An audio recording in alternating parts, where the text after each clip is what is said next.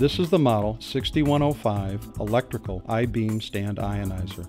It is powered by a regulated power supply. Notice that there are two connections on the power supply, so a single power supply can operate two I-beams.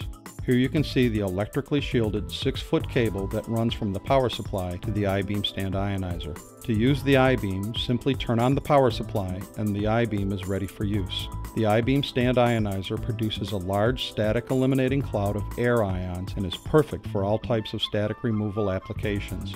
It can be used to remove static from weigh boats. Just hold the boat in front of the I-beam for a moment before placing it into the weigh chamber. The I-beam can also be used to remove static charge from powders by passing the sample in front of the I-beam for a moment before transferring it. It can also be used to remove static charge from filter media and other types of sample specimens. Just a moment in front of the I-beam is all you need.